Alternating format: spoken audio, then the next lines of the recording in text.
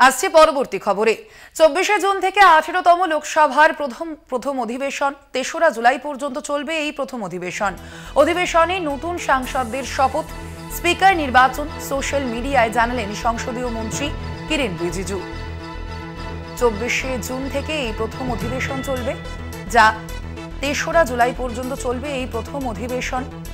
অধিবেশনে নতুন সাংসদদের শপথ স্পিকার নির্বাচনও করা হবে।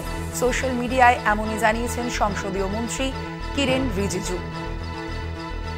সোশ্যাল মিডিয়ায় জানিয়েছেন সংসদীয় মন্ত্রী কিরেন রিজিজু, চব্বিশে জুন থেকেই অষ্টাদশ লোকসভার প্রথম অধিবেশন। তেসরা জুলাই পর্যন্ত চলবে এই প্রথম অধিবেশন। অধিবেশনে নতুন সাংসদদের শপথ গ্রহণ যেমন একদিকে থাকবে, তার পাশাপাশি স্পিকার নির্বাচনও করা হবে একই সঙ্গে। যেই স্পিকার নির্বাচন ধরে নিয়ে আমরা দেখছি, এতদিন ধরে অবশ্যই টালবাহানা রয়েছে এনডিএ জোটের মধ্যে। সেই স্পিকারও নির্বাচন করা হবে একই সঙ্গে, জানিয়েছেন সংসদীয় মন্ত্রী কিরেন রিজিজু।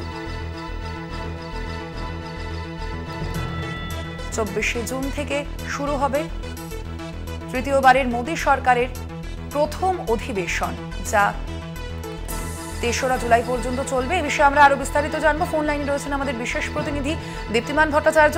দীপ্তিমান কি জানা যাচ্ছে এখনও পর্যন্ত? কিরেন রিজিজু তিনি ঠিক জানিয়েছেন কি সোশ্যাল মিডিয়ায় দেখো যেটা এখনও পর্যন্ত জানা যাচ্ছে যে এই বিজেপি সরকারের প্রথম যে অধিবেশন এই তৃতীয় মোদী আহ, তৃতীয় যে সরকার। তার কিন্তু প্রথম অধিবেশন বসতে চলেছে চব্বিশ তারিখ থেকে।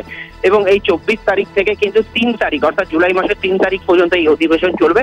এখানে কিন্তু বেশ কয়েকটি গুরুত্বপূর্ণ কাজ রয়েছে, যার ভেতরে কিন্তু স্পিকারের নির্বাচন থেকে আরম্ভ করে রাষ্ট্রপতির ভাষণ থেকে আরম্ভ করে এবং চব্বিশের সেশন রাজ্যসভার সেশনও শুরু হবে এবং সেখানেও সেক্ষেত্রেও কিন্তু সেখানেও সাতাশ থেকে তিন তারিখ অবধি থাকবে। অর্থাৎ স্পিকারের নির্বাচনটাই কিন্তু এবারে এটাতে কিন্তু সব থেকে গুরুত্বপূর্ণ বিষয় বলেই মনে করা হচ্ছে। একদমই, ধন্যবাদ তোমায়, দীপ্তিমান। আমরা কথা বললাম আমাদের সঙ্গে, ফোন লাইনে ছিলেন আমাদের বিশেষ প্রতিনিধি দীপ্তিমান ভট্টাচার্য।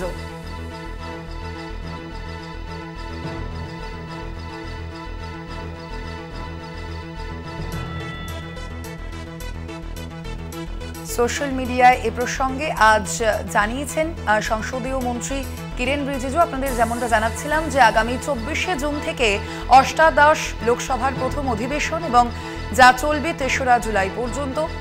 এই প্রথম অধিবেশন চলবে তেসরা জুলাই পর্যন্ত। অধিবেশনে নতুন সাংসদদের শপথ গ্রহণ তো অবশ্যই থাকবে, তবে তার পাশাপাশি যে গুরুত্বপূর্ণ বিষয়, অর্থাৎ স্পিকার নির্বাচন, তাও কিন্তু সেই প্রথম অধিবেশনেই নির্বাচন করা হবে। স্পিকারকে অবশ্যই সোশ্যাল মিডিয়ায় এই সম্পর্কে জানিয়েছেন সংসদীয় মন্ত্রী কিরেন রিজিজু।